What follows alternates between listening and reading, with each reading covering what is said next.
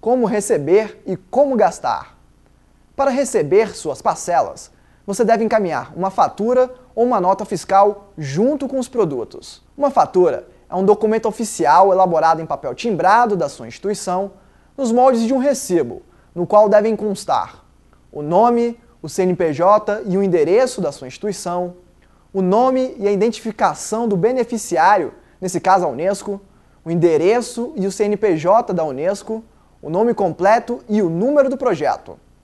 A fatura deve conter ainda um número de controle interno da instituição, a data de emissão e o valor da parcela que a Unesco vai pagar à sua instituição. Esse valor deve ser integral, sem qualquer desconto.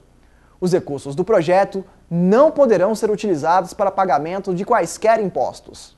A fatura deve ser emitida sem rasuras e dentro do prazo de vigência do contrato do projeto, que se encerra em 30 de junho de 2012. No corpo da fatura, você deve descrever de forma sucinta do que se trata o seu produto, algo como: essa fatura é relativa a. Outros dados importantes e que não podem deixar de constar são a cidade e a data da emissão da fatura, o nome do responsável legal pela instituição e a assinatura dele, e os dados bancários da instituição. Você não precisa enviar as notas fiscais dos pagamentos feitos pela sua instituição aos fornecedores.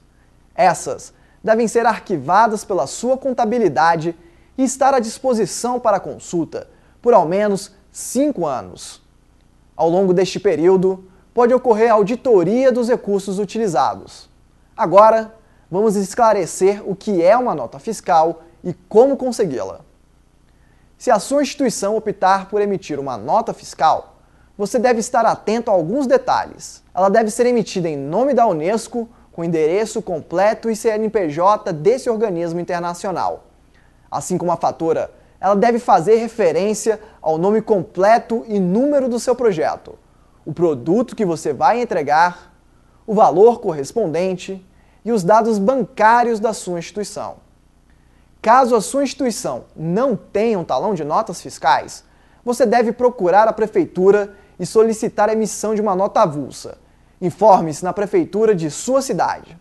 E lembre-se, você deve enviar apenas um destes documentos, ou a fatura ou a nota fiscal. Aqui daremos algumas dicas de como utilizar corretamente os recursos financeiros previstos no seu projeto. Como você viu, o edital encerra no dia 30 de junho de 2012. Suas ações não podem ultrapassar essa data. Os gastos só podem ser iniciados a partir da assinatura do contrato entre a sua instituição e a Unesco.